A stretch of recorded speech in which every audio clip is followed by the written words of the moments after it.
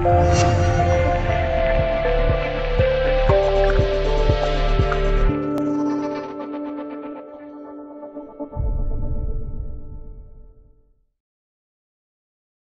了解，一名女子在外面工作期间，接到母亲的电话，说外公去世了。女子跟外公毫无感情，本来说想不回去的，但是女子听到母亲死活要让女子回家，女子最后还是斗不过母亲，选择了回家。很快，女子到家里后，探望了外公的尸体后，晚上母亲竟决定让女子来守尸体，这令女子特别的想跑，但女子若跑了。那么母亲就跟女子断绝母女关系，这让女子不知道如何是好。毕竟她是独生女，没有任何子女。最后女子还是答应了。但是就在半夜时刻，女子突然尿急上厕所，等上完厕所出来后，女子吓得瘫倒在地上。因为女子看到自己的外公竟然起身了，吓得女子脑袋都瞬间空白，大声尖叫起来。于是家人都出来后。看到外公起来后，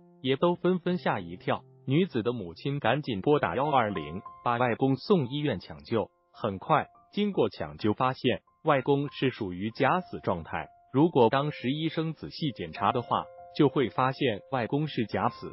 大家可以想一下，为何古代的人去世了要在家里放七天呢？